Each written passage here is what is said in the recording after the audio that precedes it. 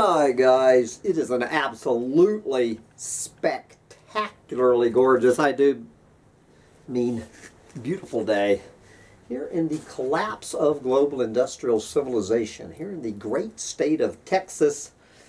It is a Wednesday. It is January 25th, 2023. So guys, I am uh, winding down my time in the great state of Texas and I'm going to be heading to Mexico in a couple of days and have to be figuring out what that means for Collapse Chronicles. I will have a couple of announcements about what I'm going to be doing with this channel for the next few weeks. But since we have one more normal day, one more normal day on Collapse Chronicles, you will be absolutely shocked to hear what I am going to do with my last full chronicle of the collapse. And we're going to go over to the bottomless pit of doomer porn called medium.com and I think I just did a a uh, rant by this I believe I don't know man or woman simply named B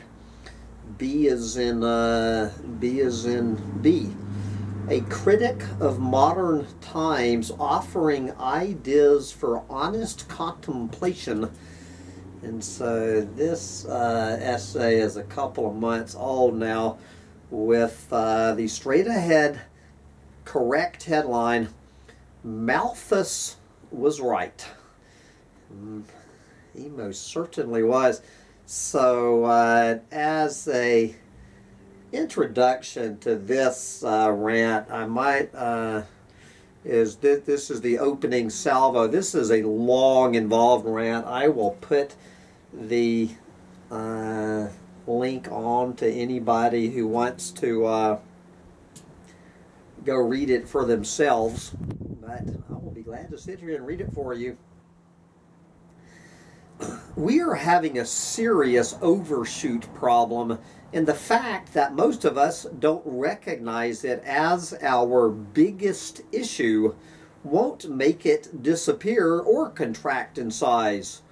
Well, neither will the people who realize, who do realize it's our biggest issue. Anyway, in essence, we use more natural resources every year than what gets replenished by nature and pollute more than what the living world can absorb. Fresh water, wood, fish, wildlife, the signs are everywhere. Extinct species dying at a rate a hundred times above the normal background rate, ecosystems collapsing like the Amazon rainforest failing to provide not only a habitat for many species, but the very rainfall upon which local agriculture depends. How did we get here and how do we get out? And who was this Malthus anyway? So guys, obviously this for anybody who's been down here in the rabbit hole for more than 10 minutes, uh, this will be kind of uh, the ABCs of, uh, of doom. Earth Overshoot Day gives a brutally honest picture about our sustainability, or in fact, lack of it, by showing us the date till when we have used up all natural resources for that given year and started living up, started started to live up the future.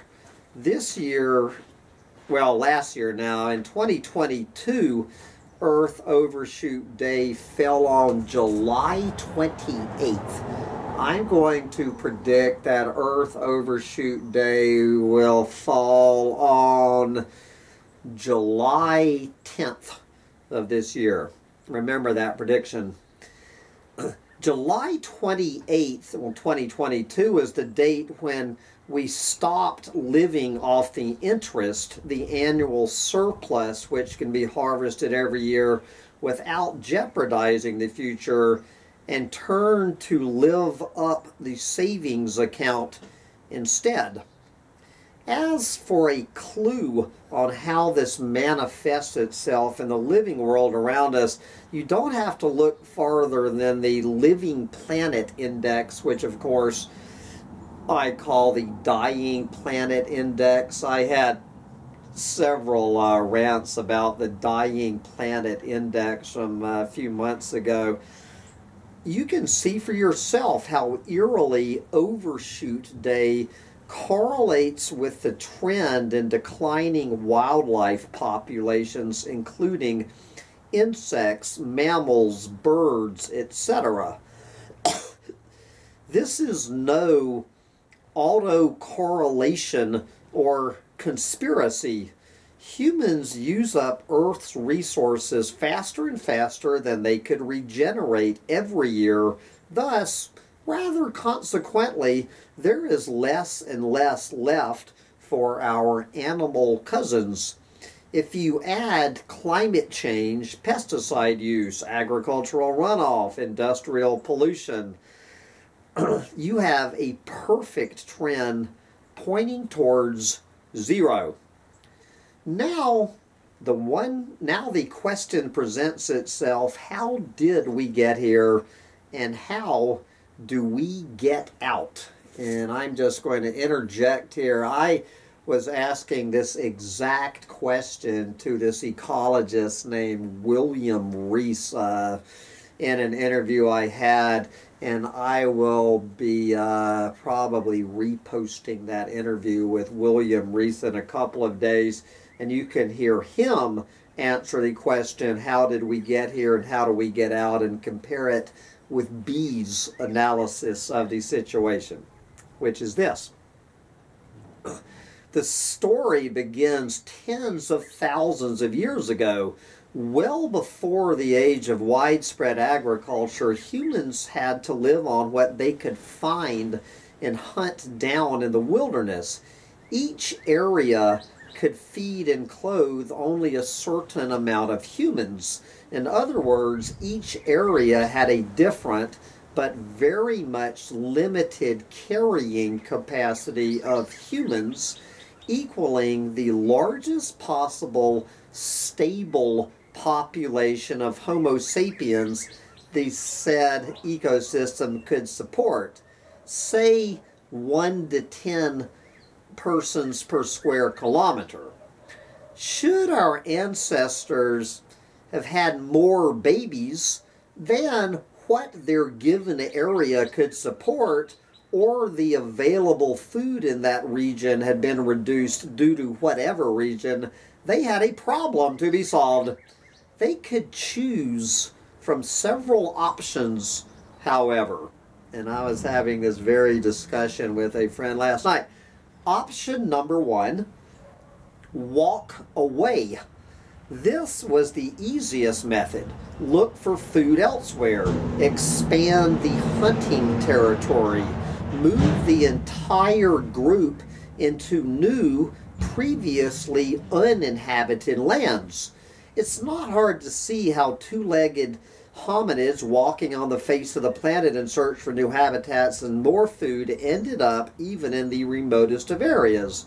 There were two caveats, though, one, Earth was and still is a sphere with a finite surface area, and two, our ancestors always found someone or something already living in the desired land, happily using all of the available biological productivity in that area already. Consequently, it was inevitable to apply option two as a next step upon arrival. And so this, you know, option one is obviously now what uh, immigration, what migration, meaning emigration or immigration, uh, depending on what side of the fence you're on, is all about. It is people, what migrants are doing uh, they are exercise, exercising option one. They are walking away to find food or a better life somewhere else. Unfortunately, when they get to where they're already going, such as the great state of Texas, they will find a bunch of people already here in the great state of Texas. And uh, so this whole immigration thing is just uh, the modern version of option one, walk away, which brings us to uh, option number two, take it from others. This method, what William Catton, author of Overshoot, calls takeover, involve taking food or habitat from other species. After, or I would add by other species, other humans who are living there, called a resource war. Uh, so I guess other species or other humans who got there first. After earning the title of being the fire apes, humans have started to alter their environment by intentionally burning down entire forests to make good grazing and, and hunting grounds for large herds of tasty mammals. They took the land from forests, birds, insects, and many other species, drove them out, and turned more sunlight, the ultimate source of all biological productivity, to their favor. They've also planted fruit orchards, nut trees, and shrubs, inventing agroforestry tens of thousands of years before the term was coined and well before the official advent of real agriculture. So that was option number two. Then option number three is the one that we've pretty much been exercising uh, at least over the last 10,000 years. Live up your heritage. Why bother with sustainability when we have an abundance of food and enough able bodied men and women to hunt it all down, the question presented itself. There was indeed a much quicker way to success the drawdown of rich resources, which drawdown is the, you know one of the major components of overshoot. Mammoth hunting was a prime example of drawdown. Herds of mammoths, once counting thousands of animals, were all hunted to extinction as humans took far more than what could be naturally regenerated. It is needless to say how this method quickly led to extinctions and not only to our praise, but many of our own ancestors as well. Yes, it did. Now, there is a fourth option which is not uh, mentioned here, which is infanticide. Uh, we will not get into the dicey subject of infanticide. You can uh, Google infanticide on your own. But anyway, since B does not even talk about the other method, we will move on. As you can see from the examples above, the question of inadvertently overshooting a given area's carrying capacity or taking more than what could be provided indefinitely was always a risk we ran, but we have also developed coping mechanisms to deal with it, at least temporarily. Humans were never as sustainable as we would like to think. Yes, the, this whole bullshit notion of humans living in harmony and balance with Mother Nature. Uh, uh, William Rees touches on that subject, and I should have gotten him to expand upon it that the entire notion of the balance of nature is a myth. There is no nature inherently is out of balance, and humans are the most out of balance. Uh, anyway, that's another rant for another day. Humans were never as sustainable as we would like to think. The myth of the noble savage. It increasingly looks like that we were the reason behind driving most large mammals and birds to extinction by simply overhunting them, but there is no way of telling how many other species we have sent to the pages of history books by burning their forests to the ground. Most of the tribes, you, know, the noble savages who experienced bottlenecks though, had learned it the hard way how to live within their limits, can you say infanticide? But they did so only after running into a dangerously intimate relationship with extinction. However, after a balance was struck, human life could be sustained within the limits of a given area's carrying capacity for a very, very long time, as the current example of many indigenous people around the world shows. Uh, anyway, we won't get off on that red herring. Okay. Jumping a few thousand years ahead, into the once stable climate of the Holocene, we see people developing agricultural practices. No matter how instant we would like to see this revolution happening, agriculture was in fact only a hobby for, uh, for most people. Play farming, as authors of The Dawn of Everything like to call it farming on the fertile riverbanks was a sideline activity to fishing and hunting even after the appearance of the first permanent settlements. For several thousands of years, people maintained both methods, but the balance was slowly tipped in favor of farming.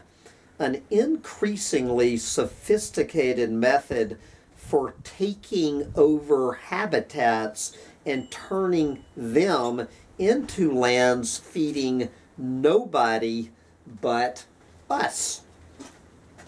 Beyond a certain population size and density, however, there was no other way to feed large crowds and keep them under tight control. There we go, there's one for the conspiracy theorists. empires, kingdoms, and other civilizations have come about as a result, and perhaps not always by popular demand. After several cycles of rise and fall of various empires around the world, small kingdoms in Western Asia, also known as Europe, started to have serious problems. they have kept increasing their agricultural productivity. In other words, pushing their land's carrying capacity well beyond its original value. But this method too had its own limitations. After experiencing several population crashes due to malnutrition, overcrowded cities, and as a result, diseases like the Black Death, something had to be done. There were simply too many people and too little land left to feed them. What could be done? Let's see. Should we walk away from these overcrowded lands? There are unfriendly folks all over the place. Hmm, why don't we embark a ship instead and visit faraway places on the other side of the world? That looked like a good idea. Uh-oh, someone is living here already and telling us it's their land. Oops. So let us encourage them to leave their most fertile lands, then ask them and other nice folks to kindly work for us for free, of course. That should work. so did the biggest takeover in human history begin the takeover of Turtle Island as the as the noble savages of America had referred to their land. The takeover of carefully managed ecosystems and their turning into monoculture crops.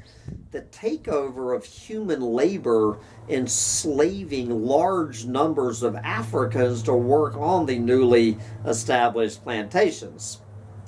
Colonies, they're talking about obviously the American colonies here, colonies grew like mushrooms, exploding into newly discovered lands, crowding out indigenous people while crowding out the first invaders. You know, there is no, there were, there, the Western Hemisphere has no indigenous people.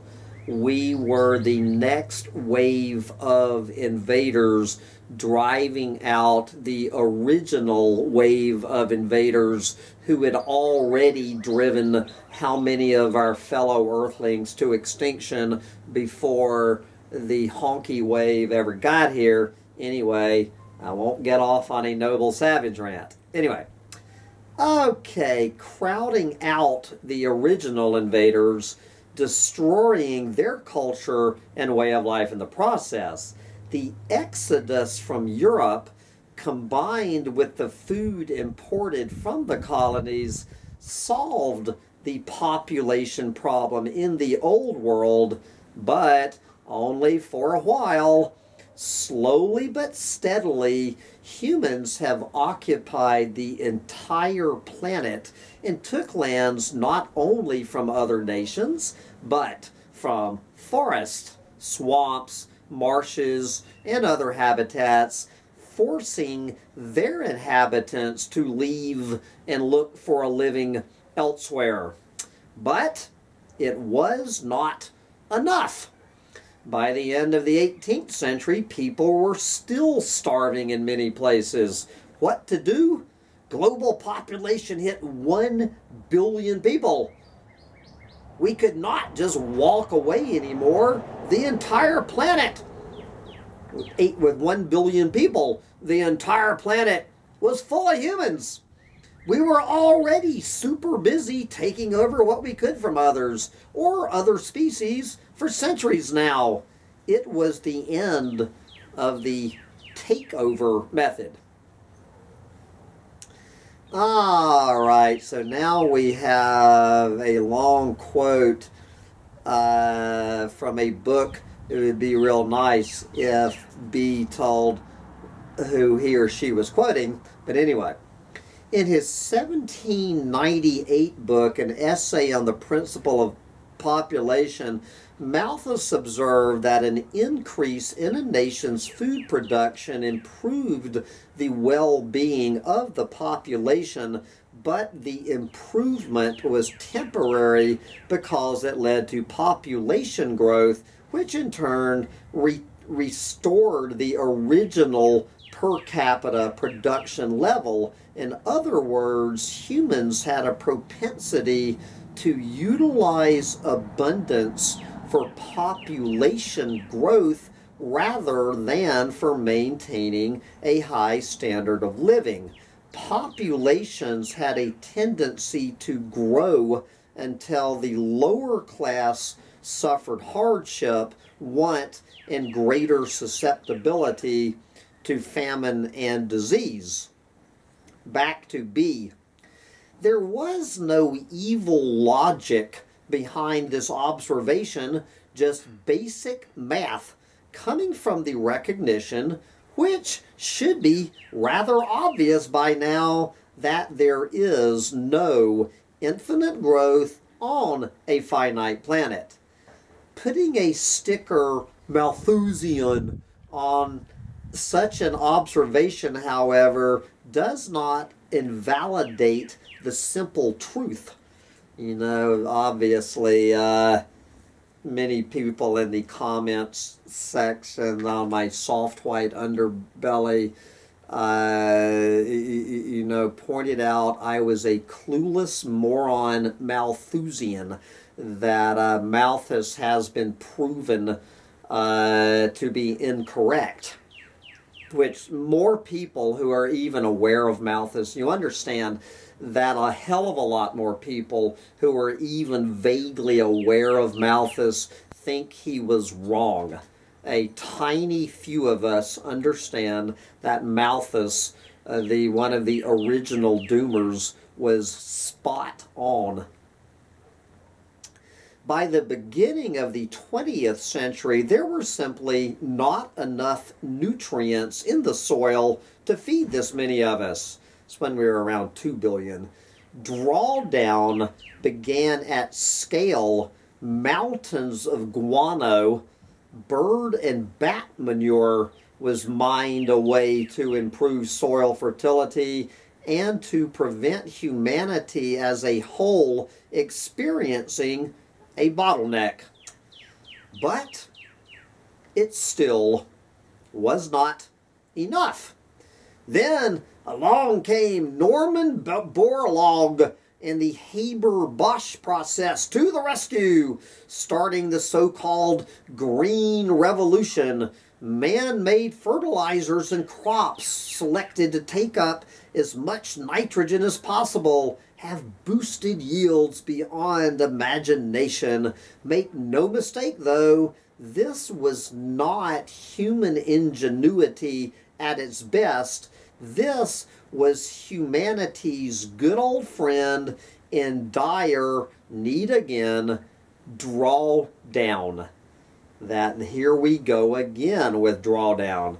Turbocharged by fossil fuels, meaning, you know, as we've had this rant many times, that uh, the green revolution, particularly the Haber-Bosch process, is 100% dependent on fossil fuels. And if we just stop fossil fuels, about half the population would be dead within the first growing season, which is why the main reason I am a champion of just stopping fossil fuels. Uh, turbocharged by fossil fuels the green revolution has only bought us time, nothing more. It, meaning the green revolution that everybody points to, you know, talking about why Malthus and Paul Ehrlich and anybody believing Malthus or Paul Ehrlich is wrong. Uh, it has only bought us time, nothing more. It was based on the one-time drawdown of fossil fuels via not only the fertilizers, via diesel-powered machinery and natural gas-derived fertilizer boosted with one-time minerals like potash, all turned into more food and contrary to many prior warnings, more people. And then we have another quote from uh, somebody you have to click on to find the source of this.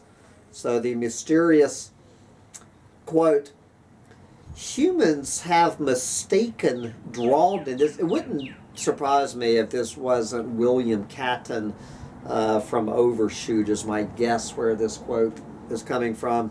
Quote, humans have mistaken drawdown for takeover and a temporary increase in carrying capacity for a permanent increase. This is why people speak of producing fossil fuels when extracting fossil fuels is a more accurate description of what's happening. Back to B. Was it wise then to build an entire civilization on a knowingly finite reserve of mineral heritage, especially knowing that it will heat up the planet when used? Was it wise to let populations around the world grow in a runaway style, literally consuming all natural resources and eating up their own future? Okay, maybe not, but we will find something. Sure, the thing we have failed to understand so far is that technology did not ever stop drawdown. Technology has only accelerated drawdown and created progress traps. Instead of using a pickaxe to mine metal ores and coal for an occasional tool or sword, for example, we now use immense machinery powered by finite reserves of coal and oil to mine what seemed to be bare rock for our ancestors to uphold the life support systems most of us depend on. we have missed the fact that we are now walking up against a landslide trying to work against a Ponzi scheme of truly epic proportions. We are forced to commit ever larger amounts of energy, materials, and labor just to stay in place. As mineral deposits deplete, however, they require an exponential increase in energy and material input, the very things we get from finite mineral deposits just as prone to depletion as anything else. Yes, I know, we will switch to solar, nuclear, hydrogen, or fusion, sure, all made from non-renewable, one-time, finite mineral resources what could possibly go wrong? Thank you. Amen, brother or sister B. And I noticed a lot of that uh, could have been that uh, interview uh, with William Rees that I had, which I'll be talking about more tomorrow when I will be announcing uh, kind of what Collapse Chronicles will probably be looking like uh, for the next few weeks while I get out there and enjoy uh, taking a jet airplane to Cancun while I still can. I highly suggest you get out there and take a jet plane to Cancun while you still can. You saying bye to the folks. Bye, guys. So tomorrow will be the last time you see Sancho Panza for weeks. So come back, say goodbye to Sancho Panza tomorrow until March. Bye, guys.